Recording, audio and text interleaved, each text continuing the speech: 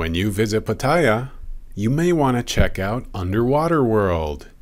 Underwater World Pattaya was officially opened on 4th of July 2003 and is the first modern aquarium in Thailand.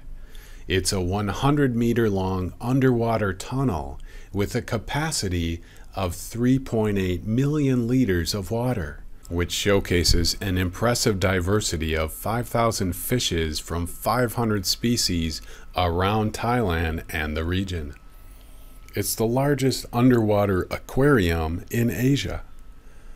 They've got shark feeding or the otter show. Dive with sharks and rays while your friends and family watch from inside the tunnel.